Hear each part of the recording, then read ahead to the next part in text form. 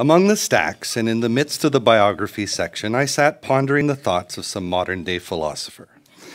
I spent many a night in this section away from the human interaction that lay out on the streets beyond the wall of books. In this place, I would not be questioned, irritated, or judged by a society that feeds upon me. yeah, things you say, eh? Oh, okay. I sat quietly paralleling my own being to that of this philosopher, reflecting on questions that I had come to know about my own existence. Hours before, I had sat at a desk, pencil pushing, alert to every detail and action I took. I would become lost in my own little chaotic world of confusion, awaiting a moment of peace.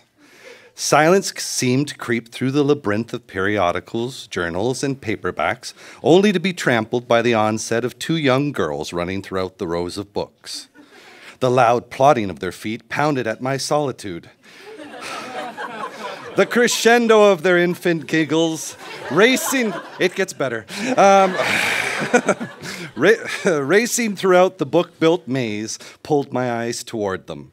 I watched as they disappeared into the fiction section. Then, in turning, I noticed the man in the study carrel behind me was severely hunched over. He must be sleeping, I reassured myself, beginning to find this very amusing. Looking closer, I saw no motion of respiration in his bulky mass. Could he be? No, that's ridiculous. I conversed with myself as fear began to spark within my body. I noticed that we were the only people in this section and therefore came to a dreadful conclusion. What happens if they find me reading philosophy to a dead man? What will I say? I thought of leaving right away before he could be discovered and exiting down the back stairwell. I started to pack up my books. Preparing to leave, I looped my scarf around my neck and reached for my jacket. In putting it on, I grabbed my bag and crept silently away from him. Slowly, turning to venture down the rows of fiction, I nervously cried, I nervously eyed every row in fear of being observed before I withdrew. The crescendo of giggles resumed, and upon hearing them, I became engulfed with horror. I cursed the little hellions, and I hurriedly raced to get to the exit before they discovered me. The sweat began dripping from my brow. As I ran, I carried my bag tucked into my stomach as a receiver would carry a football into the end zone. Hi there, mister. What you doing? A squeaky, high pitched voice questioned me. I halted. Disgusted and defeated, I said, Nothing. And I sullenly returned down the long corridor to my seat. There he sat still, slouched over like a top heavy sack of potatoes, his black horn rimmed glasses delicately perched on the end of his nose. Irritated, I sat there, my fingers tapping some melodramatic composition that added to my frustration. I arose from my seat, creeping towards the body, hoping to satisfy my curiosity and confirm my assumptions. I neared him. As I neared him, the stiff bristles of his semi brush cut seemed to point out a disgusting thought that soon rigor mortis would set in. the folded ripples of his blue knit sweater seemed to encase his body within the stiff, dark, coffin like structure of his brown suede jacket. Beyond him was a mess of open books, well read letters, and a, collection, uh, and a collection of favorite events. I leaned closer uh, noticing that the book, the open book in front of him, contained a picture of Jane Russell clad in a bikini, smiling superficially, while the cover of the book next to it revealed the solemn, stern, empty look of Robert Mitchum. I was intrigued and cautiously looked about, seeing if the coast was clear and feeling possessed. I carefully began picking about through his belongings to search out his identity. Around the corner of the stacks, again came the irritating cries of the two little demons. Gotcha! cried the taller of the two, and then with a tremendous crack, she lambasted the younger on the head.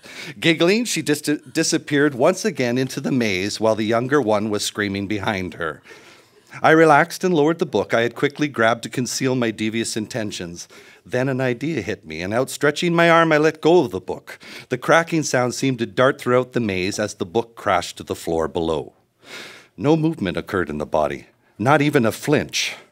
Slowly, I raised my index finger.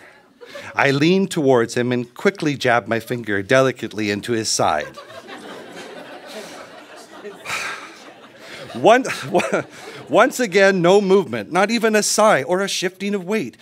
Jabbing harder once again, producing no reaction, I returned to my seat. I, I thought of how uncomfortable it would have been if, if he were alive and I had disturbed him. Then I would have had to explain my actions. Feeling utterly criminal, I sighed and I leaned over, jabbing him once again. After gaining no reaction, I returned to my reading, ignoring his existence. Once again, I lost myself in the dreadful thought of the discovery of the body by some authoritative person, a cynic who would not believe my innocence. With no one to back me up, I could hear them saying, Look at his innocent face. He's just the type to be a homicidal killer. my heart began to race, and then came the wheezing. His body contorted as a sneeze that resembled the pumping of a basketball overtook him. Startled, he massaged his face, looked at his watch, and repositioning his glasses, rose awkwardly from his chair and commenced collecting his belongings. Once packed, he turned and for the very first time looked at me. His hollow stare emitted pain. It seemed to invade my imagination as I had invaded his territory with my insensitive curiosity. I felt uneasy and silently pleaded for him to let me be. He then smiled and waddled away, disappearing into the periodicals. Silence crept back through the labyrinth, and I returned to my reading. The reverberating sound of infant feet began nearing me. I watched as the two young girls dodged one another, innocently enjoying themselves, oblivious to the others around them. They danced and giggled out of sight as I watched.